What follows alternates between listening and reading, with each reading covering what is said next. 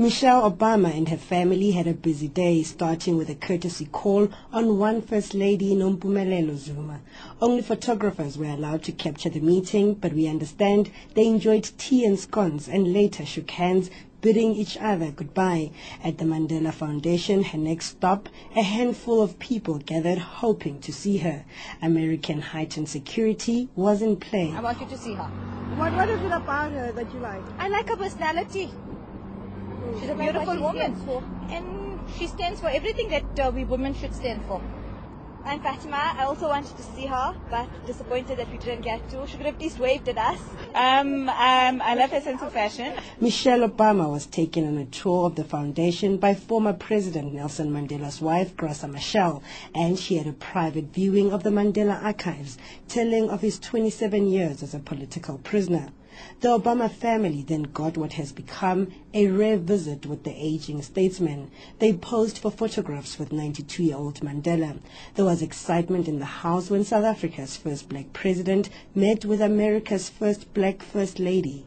Ndileka Mandela, Mandela's granddaughter, was there. For, for, some time it was a bit chaos and mayhem and, and with all of us clamoring, but Michelle, the First Lady, is a wonderful person. I mean, the pictures that you see in magazines don't do her justice. She, she's a very warm person, and, and with her and the children, the mom, yeah, they're very. And how was that? Well, you know, he was happy, a bit reserved, but yeah, he was happy to meet her. Then Michelle Obama and her family made a surprise visit to Zandspruit informal settlement. It has made headlines for violent service delivery protests, and the informal settlement lays bare the reality for thousands of young people across the country. Through the tinted windows of the four-wheel drives, the Obama family, from one of the richest nations in the world, must have seen the rows and rows of cramped tin shacks and the children playing in heaps of rubbish. The trip was kept under wraps, but the security deployed drew attention. It's, it's a shock because we didn't know about it. It's sad not to know about it, especially if it's coming to our community. We should be told so that you can know. Then there was disappointment. She left just as quickly as she had arrived. The throngs of people hoping to get a glimpse of the family in their squatter camp were kept at bay by a police tank.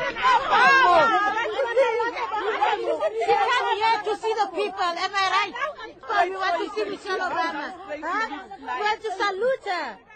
The black president of America. Michelle Obama spent time at the Umthonjeni Community Center and met with community leaders and the students from the African Leadership Academy that helps run a recycling project, a food garden, and also teach at the creche once a week.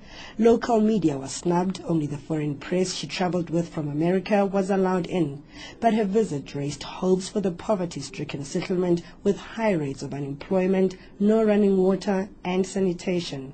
Yeah, it does symbolize because maybe there would be change in the community because of her being here. Who knows? But then we don't even know what her motive is for her to be here anyway. So we just have to see. Michelle Obama is yet to give a public address, but in video links ahead of her visit, she said her trip will focus on youth development, education, and wellness.